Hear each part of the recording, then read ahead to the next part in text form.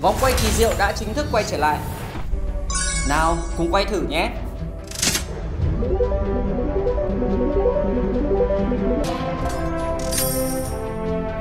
Rất dễ dàng đúng không? Cùng quay và chia sẻ ngay thôi. Hãy subscribe YouTube Liên Quân để được xem những nội dung chính thống.